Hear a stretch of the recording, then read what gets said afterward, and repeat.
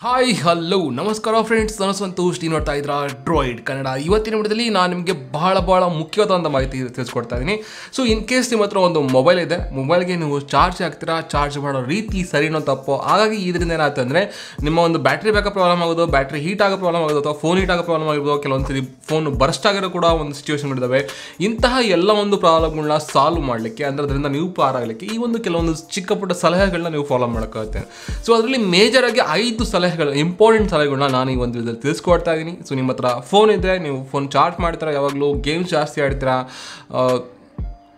Battery ತುಂಬ important ಇದ್ದರೆ so ದಯವಿಟ್ಟು ಈ ಒಂದು ವಿಡಿಯೋನ ಕೊನೆ ತನಕ ನೋಡಿ ಮಿಸ್ ಮಾಡ್ದಂಗೆ. ಸೊ ವಿಡಿಯೋ ಸ್ಟಾರ್ಟ್ ಮಾಡೋಣ. ಅದಕ್ಕೂ ಮುಂಚೆ ನೀವು ಚಾನಲ್ಗೆ ಸಬ್ಸ್ಕ್ರೈಬ್ ಆಗಿಲ್ಲ ಅಂದರೆ ದಯವಿಟ್ಟು ಕೆಳಗಡೆ ಇರ್ತಕ್ಕಂಥ ರೆಡ್ ಕಸ್ಕೋಡನ್ನು ಪ್ರೆಸ್ ಮಾಡಿ ಚಾನಲ್ಗೆ ಸಬ್ಸ್ಕ್ರೈಬ್ ಆಗಿ, ಹಾಗೆ ನನ್ನ ಸಪೋರ್ಟ್ ಮಾಡಿ.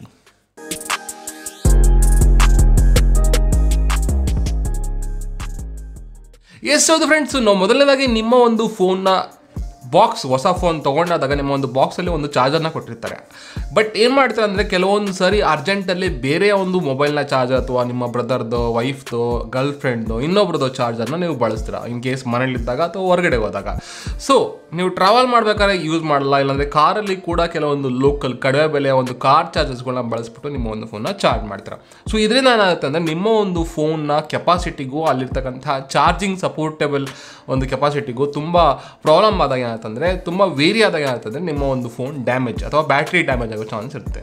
ಸೊ ಹಾಗಾಗಿ ಆದಷ್ಟು ನಿಮ್ಮ ಒಂದು ಮೊಬೈಲ್ನ ಒರಿಜಿನಲ್ ಚಾರ್ಜರ್ನ ಬಳಸಲಿಕ್ಕೆ ಟ್ರೈ ಮಾಡಿ. ಸೊ ನನ್ನ ಪ್ರಕಾರ ಆ್ಯಂಡ್ರಾಯ್ಡ್ ಫೋನ್ ಚಾರ್ಜರ್ಗಳು ಬಹಳಷ್ಟು ಕಡಿಮೆ ಬೆಲೆ ಸಿಗುತ್ತೆ. ಹಾಗಾಗಿ ಸೊ ಇನ್ ಕೇಸ್ ನಿಮಗೆ ಒಂದಲ್ಲ ಅಂದರೆ ಎರಡು ಚಾರ್ಜರ್ಗಳನ್ನ ಖರೀದಿ ಮಾಡಿ. ಆ್ಯಂಡ್ ನಿಮ್ಗೆ ಇನ್ನೊಂದು ಮಾಹಿತಿ ಏನಪ್ಪ ಅಂತಂದರೆ ಒಂದು ನೀವು ಯೂಸ್ ಮಾಡ್ತಕ್ಕಂಥ ಅಡಾಪ್ಟರ್ ಕಡಿಮೆ ಇದ್ರೂ ಪರವಾಗಿಲ್ಲ ಬಟ್ ಓವರ್ ಕೆಪಾಸಿಟಿ ಇದ್ದಾಗ ಕೂಡ ಕೆಲವೊಂದು ಸರಿ ಚಾ ಪ್ರಾಬ್ಲಮ್ ಆಗುತ್ತೆ. ಬಿಕಾಸ್ ಏನಕ್ಕಿಂತ ಹೇಳ್ತೆ ಅಂದರೆ ಕೆಲವೊಂದು ರೆಪ್ಯೂಟೆಡ್ ಬ್ರ್ಯಾಂಡ್ಗಳು ಯಾವುದೇ ರೀತಿಯ ಸಿಚುವೇಷನಲ್ಲೂ ಕೂಡ ಒಂದು ಆ, ಒಂದು ಪವರ್ ಫೋರ್ಸ್ನ ಹ್ಯಾಂಡಲ್ ಮಾಡ್ತಕ್ಕಂತಹ ಒಂದು ಪ್ರೊಸರ್ಗಳ ಸಿಸ್ಟಮ್ಗಳನ್ನ ಕೆಲವೊಂದು ಫೋನ್ಸಲ್ಲಿ ಹಾಕಿರ್ತಾರೆ. ಬಟ್ ಎಲ್ಲ ಬ್ರ್ಯಾಂಡ್ಗಳು ಅದನ್ನ ಹಾಕೋಕ್ಕಲ್ಲ ಕಡೆ ಕೆಲವೊಂದು ಕಡಿಮೆ ಫೋನ್ಸ್ಗೆ ಕಡಿಮೆ ಬೆಲೆಯಲ್ಲಿ ಸಿಗ್ತಕ್ಕಂತಹ ಫೋನ್ಸ್ಗಳಲ್ಲಿ ಆ ಒಂದು ಪ್ರಾಬ್ಲಮ್ಮು ಸಾಧ್ಯತೆ ಇರ್ತದೆ like example M I phones ಒಂದು ಕಡಿಮೆ ಪ್ರೈಸಲ್ಲಿ ಕೊಡ್ತೀರ ಅಂದರೆ ಅಷ್ಟೊಂದು ಎಲ್ಲ ಒಂದು ಸೆಕ್ಯೂರಿಟಿ ಸೇಫ್ಟಿನ ಕೊಡೋಕ್ಕಾಗಲ್ಲ. ನಾನು ಎಂ ಐ ಜಸ್ಟ್ ಎಕ್ಸಾಂಪಲ್ ಕೊಡ್ತಾ ಇದ್ದೀನಿ.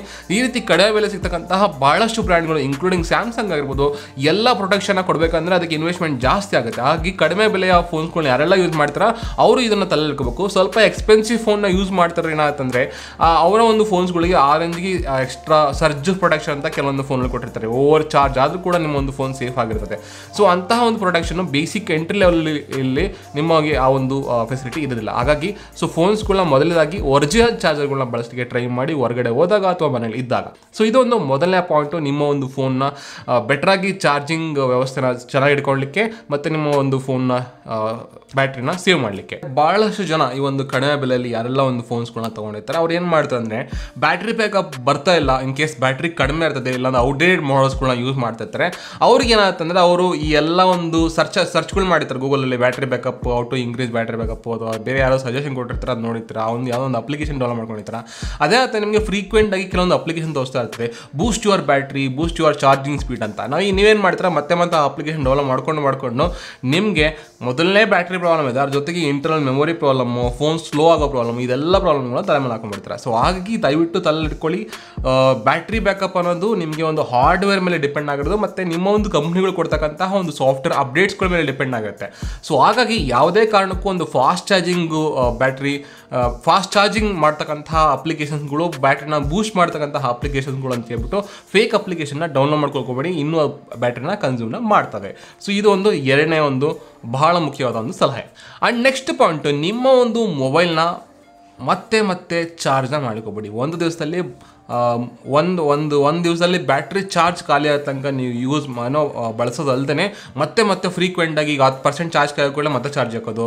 ಮತ್ತೆ ಹತ್ತು ಪರ್ಸೆಂಟ್ ಚಾರ್ಜ್ ಕಳೆದುಕೊಳ್ಳಿ ಮತ್ತೆ ಚಾರ್ಜ್ ಹಾಕೋದು. ಈ ಥರ ಹೋಗ್ಬೇಡಿ. ಜಾಸ್ತಿ ಸರಿ ಚಾರ್ಜ್ನ ಮಾಡೋಕ್ಕೋಗ್ಬಿಡಿ ಸೊ ಬೆಳಗ್ಗೆ ಒಮ್ಮೆ ಚಾರ್ಜ್ ಮಾಡಿದ್ಮೇಲೆ ಅದನ್ನ ಎಲ್ಲಿ ತನಕ ಅದು ಖಾಲಿ ಆಗುತ್ತೋ ಅಲ್ಲಿ ತನಕ ಯೂಸ್ ಮಾಡಿ ಮಿನಿಮಮ್ ಒಂದು ಟ್ವೆಂಟಿ ಪರ್ಸೆಂಟ್ ತನಕ ಆಮೇಲೆ ನೀವು ಚಾರ್ಜ್ ಹಾಕಿ. ಮತ್ತೆ ಮತ್ತೆ ನೀವು ಚಾರ್ಜ್ ಹಾಕೋದ್ರಿಂದ ನಿಮ್ಮ ಒಂದು ಬ್ಯಾಟ್ರಿ ಅತಿ ಬೇಗ ಹಾಳಾಗೋ ಚಾನ್ಸ್ ಇರ್ತದೆ.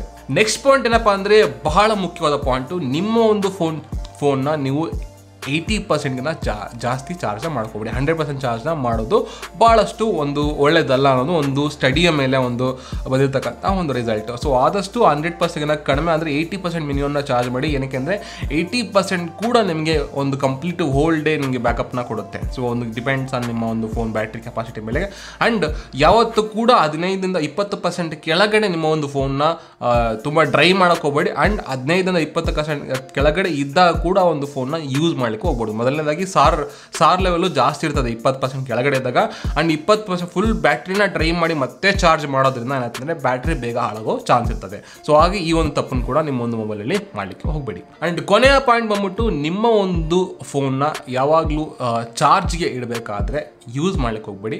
ಮೊದಲನೇದು ಯೂಸ್ ಮಾಡೋದ್ರಿಂದ ಅಂತಂದರೆ ಮೊದಲು ಈ ಕಡೆಯಿಂದ ಚಾರ್ಜ್ ಆಗ್ತದೆ, ಆ ಕಡೆಯಿಂದ ಚಾರ್ಜ್ ಖಾಲಿ ಆಗ್ತಿರ್ತದೆ. ಅವಾಗ ಏನಾಗ್ತದೆ, ನಿಮ್ಮ ಒಂದು ಫೋನ್ ಹೀಟ್ ಅಪ್ ಆಗೋ ಚಾನ್ಸ್ ಇರ್ತದೆ. ಅದರಲ್ಲಿ ಹೀಟ್ ಆದಾಗ ನಿಮಗೆ ಒಂದು ಬೇರೆ ಎಲ್ಲ ಒಂದು ಬ್ಯಾಟ್ರಿ ಆಗಿರೋದು ಬೇರೆ ಎಲ್ಲ ಒಂದು ಪ್ರೊಸೆಸರ್ಗೆ ಎಫೆಕ್ಟ್ ಆಗೋ ಚಾನ್ಸ್ ಇರ್ತದೆ. ಇನ್ನು ಮಿಡ್ ಮಿಡ್ ರೇಂಜ್ ಫೋನ್ಸ್ಗಳಲ್ಲಿ ಬಿಕಾಸ್ ಹೀಟಿಂಗ್ ಸಿಸ್ಟಮ್ ನಿಮಗೆ ಕೊಡಲ್ಲ ಅದರೊಳಗಡೆ ಬೇಸಿಕ್ ಫೋನ್ಸ್ಗಳಲ್ಲಿ ಒಂದು ಟಾಪ್ ಲೆವೆಲಲ್ಲಿ ನಿಮ್ಗೆ ಯಾವ ರೀತಿ ಒಂದು ಪ್ರಾಬ್ಲಮ್ ಆಗಲ್ಲ. ಇವೊಂದು ನೀವು ಒಂದು ಚಾರ್ಜ್ ಹಾಕೊಂಡು ಫೋನ್ಸ್ಗಳನ್ನ ಯೂಸ್ ಮಾಡಿದಾಗ. ಬಟ್ ಸೇಫರ್ ಸೈಡ್ಗೆ ನಾನು ಕೂಡ ಸಜೆಸ್ಟ್ ಮಾಡಲ್ಲ. ಫೋನ್ಗಳನ್ನ ನೀವು ಚಾರ್ಜ್ ಮಾಡುವಾಗ ಯಾವ ರೀತಿಯ ಒಂದು ಗೇಮಿಂಗ್ ಆಗಿರ್ಬೋದು ಮೂವಿಗಳನ್ನಾಗಿರೋದು ನೋಡೋದನ್ನ ನಾನು ಸಜೆಸ್ಟ್ ಮಾಡೋದಿಲ್ಲ ಬಟ್ ಎಲ್ಲ ಫೋನ್ಸ್ಗಳಿಗೂ ಇದು ಸೂಟ್ ಆಗೋದಿಲ್ಲ, ಹಾಗಾಗಿ ಹೇಳ್ತಾ ಇದ್ದೀನಿ. ಕೆಲವೊಂದು ಫೋನ್ಗಳಲ್ಲಿ ನೀವು ಚಾರ್ಜ್ ಹಾಕೊಂಡು ನೀವು ಫೋನ್ನ ಯೂಸ್ ಮಾಡ್ತಾ ಇದ್ರು ಯಾವುದೇ ರೀತಿ ಹೀಟ್ ಪ್ರಾಬ್ಲಮ್ ಆಗೋದಿಲ್ಲ ಬಿಕಾಸ್ ಅದಕ್ಕೆ ಸಪ್ರೇಟ್ ಆಗೋದು ಒಂದು ಪ್ರೊಟೆಕ್ಷನ್ ಇರುತ್ತೆ. ಬೇಕಾದ್ರೆ ಇದನ್ನು ಅಬ್ಸರ್ವ್ ಮಾಡಿ ಯಾರೆಲ್ಲ ಒಂದು high end phones for example ಅಂದ ಒಂದು ಫೋನ್ ಕೂಡ ಅಷ್ಟೇ. ನಾನು ಏನಾದರೂ ಇದನ್ನು ಸಮ್ ಟೈಮ್ಸ್ ಏನಾದರೂ ನಾನು ಮರ್ತ್ಬಿಟ್ಟು ಚಾರ್ಜ್ ಹಾಕಿದ್ರು ಯಾವುದೇ ಕಾರಣಕ್ಕೂ ಈ ಒಂದು ಫೋನ್ ಹೀಟ್ ಆಗೋದಿಲ್ಲ. ಸೊ ದಟ್ ಮೀನ್ಸ್ ಈ ಒಂದು ಫೋನಲ್ಲಿ ಒಂದು ಸರ್ಚ್ ಪ್ರೊಡಕ್ಷನ್ ಅಂತ ಕೊಟ್ಟಿರ್ತಾರೆ, ಹಾಗಾಗಿ. ಸೊ ಒಂದು ನಾನು ಕೂಡ ಚಾರ್ಜ್ ಚಾರ್ಜ್ ಹಾಕೊಂಡು ಯೂಸ್ ಮಾಡೋದನ್ನ ಆಲ್ಮೋಸ್ಟ್ ಅಲ್ಲಿ ನೈಂಟಿ ನೈನ್ ಪರ್ಸೆಂಟ್ ನಾನು ಬಳಸೋದಿಲ್ಲ. ಇನ್ ಕೇಸ್ ಏನೋ ಎಮರ್ಜೆನ್ಸಿ ಇದ್ದಾಗ ಮಾತ್ರ ನಾನು ಬಳಸ್ತೀನಿ. ದಯವಿಟ್ಟು ಕೂಡ ನಿಮಗೂ ಅದನ್ನೇ ಹೇಳೋದು. ದಯವಿಟ್ಟು ಯಾವತ್ತು ಯಾವುದೇ ಕಾರಣಕ್ಕೂ ಚಾರ್ಜ್ ಮಾಡುವಾಗ ಫೋನ್ನ ಬಳಸಬೇಡಿ. ಆ್ಯಂಡ್ ಎರಡನೇ ಪಾಯಿಂಟು ಚಾರ್ಜ್ ಮಾಡುವಾಗ ಆದಷ್ಟು ಏರೋಪ್ಲೇನ್ ಮೋಡ್ಗೆ ಇಡ ಇಡೋದು ಬಹಳಷ್ಟು ಒಳ್ಳೆಯದು ಸೊ ದಯವಿಟ್ಟು ಏರೋಪ್ಲೇನ್ ಮೋಡಲ್ಲಿ ನಿಮ್ಮ ಒಂದು ಫೋನ್ನ ಇಡಿ. ಸೊ ನಿಮ್ಮ ಫೋನ್ನ ಬ್ಯಾಟ್ರಿ ತುಂಬ ಸೇಫ್ ಆಗಿರುತ್ತೆ. ಆ್ಯಂಡ್ ಚಾರ್ಜ್ ಕೂಡ ಫಾಸ್ಟಾಗಿ ಆಗುತ್ತೆ. ಯಾವುದೇ ರೀತಿ ಒಂದು ಪ್ರಾಬ್ಲಮ್ ಆಗೋದಿಲ್ಲ. ಎಸ್ ಫ್ರೆಂಡ್ಸ್ ಇದಾಗಿತ್ತು ಒಂದು ಐದು ಮೇಜರ್ ಒಂದು ಸಲಹೆಗಳು ನಿಮ್ಮ ಒಂದು ಫೋನ್ನ ನೀವು ಚಾರ್ಜ್ ಮಾಡುವಾಗ ಈ ಒಂದು ತಪ್ಪುಗಳನ್ನ ಮಾಡ್ಲಿಕ್ಕೆ ಹೋಗ್ಬೇಡಿ. ಈ ಒಂದು ಸಜೆಷನ್ಗಳನ್ನ ಫಾಲೋ ಅಪ್ ಮಾಡಿ ನಿಮ್ಮ ಒಂದು ಫೋನ್ ಬ್ಯಾಟ್ರಿನ ನಿಮ್ಮ ಒಂದು ಫೋನ್ನ ತುಂಬ ಚೆನ್ನಾಗಿ ಇಟ್ಕೊಳ್ಳಿ ಬೇಕಾದ ಭಾಳಷ್ಟು ಇನ್ವೆಸ್ಟ್ಮೆಂಟ್ನ ಮಾಡಿರ್ತೀರ? ಸೊ ಐ ಥಿಂಕ್ ಎಲ್ಲ ನಿಮಗೆ ಅರ್ಥ ಆಗಿದೆ ಅನ್ಕೋತೀನಿ. ಇನ್ನೂ ಏನಾದರೂ ಡೌಟ್ಸ್ ಇದೆ ದಯವಿಟ್ಟು ಕಾಮೆಂಟ್ ಮಾಡಿ ತಿಳಿಸಿ. ಆದಷ್ಟು ವೀಡಿಯೋನ ನಾವು ಕನ್ನಡದಲ್ಲಿ ಎಷ್ಟು ಕಷ್ಟಪಟ್ಟು ನಿಮಗೆ ತಿಳಿಸ್ಲಿಕ್ಕೆ ಟ್ರೈ ಮಾಡ್ತಾ ಇದ್ವಿ. ಸೊ ಕನ್ನಡ ಚಾನಲ್ಸ್ಗಳನ್ನ ಬೆಳೆಸಲಿಕ್ಕೆ ಆದಷ್ಟು ಪ್ರತಿಯೊಂದು ವೀಡಿಯೋಗೂ ಲೈಕ್ ಮಾಡಿ ಶೇರ್ ಮಾಡಿ ಕಂಪ್ಲೀಟಾಗಿ ವೀಡಿಯೋಸ್ನ ನೋಡಿ ನಿಮ್ಗೆ ಅರ್ಥ ಆಗುತ್ತೆ. ನಿನ್ನೆ ಮಾಡಿದ ವಿಡಿಯೋದಲ್ಲೇ ಕೆಲವ್ರಿಗೆ ಅಪ್ಲಿಕೇಶನ್ ಆ ಅಪ್ಲಿಕೇಶನ್ ಆ ಒಂದು ವೀಡಿಯೋದಲ್ಲೇ ತಿಳಿಸ್ಕೊಡಿದ್ದೀನಿ ಬೆಸ್ಟ್ ಎಡಿಟಿಂಗ್ ಅಪ್ಲಿಕೇಶನ್ ಅದನ್ನು ನೋಡಿಲ್ಲ ಸ್ಕಿಪ್ ಮಾಡಿ ನೋಡಿದರೆ ಬೇಸಿಕ್ಸ್ ಅರ್ಥ ಆಗಿಲ್ಲ ಅಂದರೆ ನೀವು ಏನು ಮಾಡ್ಲಿಕ್ಕೆ ಆಗೋದಿಲ್ಲ. ಸೊ ಹಾಗಾಗಿ ದಯವಿಟ್ಟು ಯಾವುದೇ ಒಂದು ವೀಡಿಯೋಸ್ಗಳನ್ನ ಸ್ಕಿಪ್ ಮಾಡಿದಂಗೆ ನೋಡಿ. ನಾನು ಯಾವುದೇ ಕಾರಣಕ್ಕೂ ಬೋರ್ ಆಗುವಂತಹ ಕಂಟೆಂಟ್ ಬೋರ್ ಆಗೋಷ್ಟು ನಾವಂತೂ ಎಳಿಲಿಕ್ಕೆ ಹೋಗೋದಿಲ್ಲ. ಸೊ ಇನ್ ಕೇಸ್ ನಿಮ್ಗೆ ಅನಿಸುತ್ತೆ ದಯವಿಟ್ಟು ಕಾಮೆಂಟ್ ಮಾಡಿ ಕೂಡ ತಿಳಿಸ್ಬೋದು. ಸೊ ಐ ಥಿಂಕ್ ಈ ಒಂದು ವಿಡಿಯೋ ನಿಮಗೆ ಇಷ್ಟ ಆಗಿದೆ ಇಷ್ಟ ಆಗಿದೆ ಲೈಕ್ ಮಾಡಿ ಶೇರ್ ಮಾಡಿ ಚಾನಲ್ ಸಬ್ಸ್ಕ್ರೈಬ್ ಹಾಕಿ, ಹಾಗೆ ನನ್ನ ಸಪೋರ್ಟ್ ಮಾಡಿ. ಸೊ ಮಸ್ತಿನ ಒಂದು ಹೊಸ ಅದ್ಭುತವಾದ ವಿಡಿಯೋ ಇನ್ಫಾರ್ಮೇಷನ್ ಜೊತೆಗೆ. ಅಲ್ಲಿ ತಕ್ಕ ಜೈ ಹಿಂದ್, ಜೈ कर्नाटका